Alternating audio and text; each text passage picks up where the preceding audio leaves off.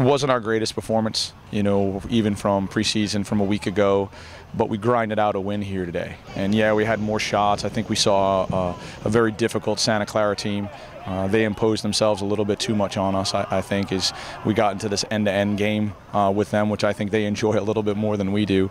Uh, but we definitely have the horses to go end-to-end if we need to. And I told the guys, not our greatest performance, um, but this is a result-oriented business. And uh, ultimately, we got the result that we wanted. I'm proud that we, we found a way to win the game, although we didn't play our best soccer here tonight. Finally broke through. It felt great. Uh, got a few goals last game against Kentucky, so I feel like I'm on a roll.